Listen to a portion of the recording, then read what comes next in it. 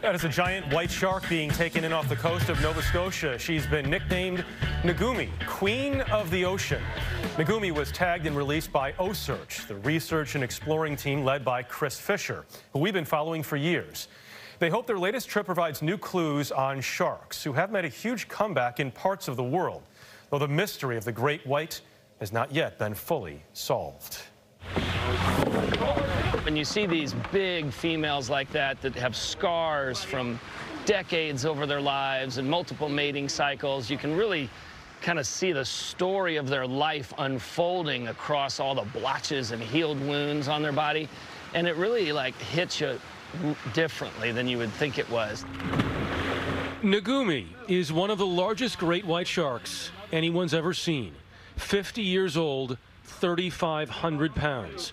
The crowning achievement of a month-long trip off Nova Scotia for the team at OCEARCH. We're getting pushed around all the time. The wind's constantly changing. After running from storms for 21 days in the middle of this unprecedented Atlantic hurricane season, OCEARCH was able to sample and release a total of eight white sharks on this latest trip, including Nukumi, so-called queen of the ocean. What are you hoping she tells you in the years to come? Well, she has a great opportunity of showing us where the Atlantic Canada white shark gives birth. That is their ultimate goal, something that has never been witnessed, along with so much else about white sharks.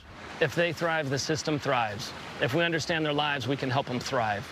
If we lose our white sharks, there's no food for our grandkids. The seals wipe out our fish stocks, the squid wipe out our fish, fish stocks, and the white shark is the balance keeper and the path to abundance goes through them. OCEARCH says their satellite tags, which allow researchers to track the sharks for five years, are a key to unlocking it all.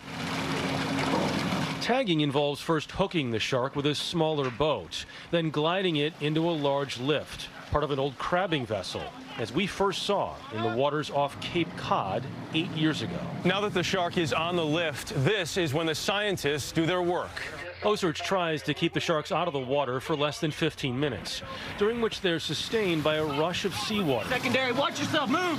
While blood samples are taken. Four minutes, 20 seconds.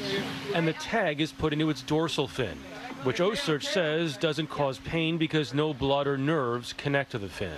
Okay, tag's done. From the first time we were on the ship with you in 2012, what have we learned? We knew almost nothing about what the white sharks were doing in the North Atlantic other than some of them were showing up in the Cape Cod region in the late summer and fall. We started to put the tags out there, and the first thing we did was to find the full range of the North Atlantic white shark. We now know that they're moving from Atlantic Canada and Newfoundland all the way down the eastern seaboard and through and into the Gulf of Mexico as far west as the Mississippi River. Your methods have been criticized as being too invasive. Why do you stick with them? Because that's not what the data says. When you look at the blood data and the stress data, it doesn't indicate that.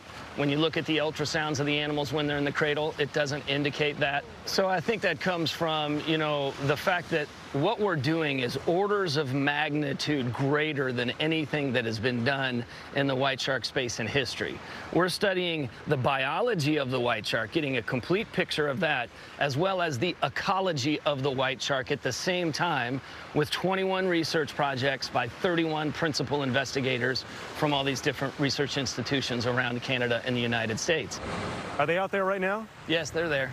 Fischer talked with us this week on the coast of Long Island another place that's seen an increasing number of white sharks in recent years. They're around you everywhere you go when you're on the water. You know, we've been swimming with them our whole lives. The one thing that's changed since the beginning of our work is that we know that. Yeah, Finley! Yeah. Looking good, old girl! Finding out exactly where they live and move is not only a key to keeping people safe, it's critical for conservation efforts, not just here, across the planet. Sharks are in much better shape than they were just a couple decades ago. Is there reason for concern moving forward beyond this? Well, sharks are in much better shape than they were decades ago in the United States of America. But when you leave the United States and they lack management and there is no enforcement, uh, it is still a super big challenge, which then affects the global ecosystem of the ocean in very, very negative ways. If the United States is in such good shape as you say, and other places are not, wh where to next for you? Where do you think the worst situation is? Well, we're looking at several places, but one of the places we hope that we could maybe make, make a real difference is in the Mediterranean. It's just been over-harvested since the beginning of mankind. Uh, it's had people around it since the beginning trying to survive and eat, and so it's, it's taken the brunt of, of our growth as humans. How do you turn that back around? Try to get the white sharks moving in the right direction, start creating awareness, and hope that that impacts the fish stocks, the marine mammal stocks, and slowly you're talking about, you know, we turned it around the United States in 20 years. I think there you're looking at more like you got to have a 100 year vision. Wow, a hundred years. A hundred year, Yeah. a hundred year vision because things are so bad in the Mediterranean when it mm. comes to sharks right now. But it is just, it, it's awe-inspiring to stand next to one of these white sharks on that lift, glide your hand. I'd rather You do it there than in the water. You couldn't resist. You just couldn't Well, this, resist. well, we, we spent time with Jeannie a few years back. I wasn't able to see uh, Nukumi Right. in person, but now we can track her on the website for, for the next five years or so. And, um, and they're planning to go, so there, there- there's talk about going to the Mediterranean and then also spend some time uh, maybe off the Carolinas next summer to try to find out more about where they, where they breed and where they give birth. It's great work, and it's every time we do a story like this, it's the reminder it's all interconnected. They're Yes. all interconnected, and that's the thing people have to keep in mind. Top of the food chain, Yep. that goes away, everything else does too.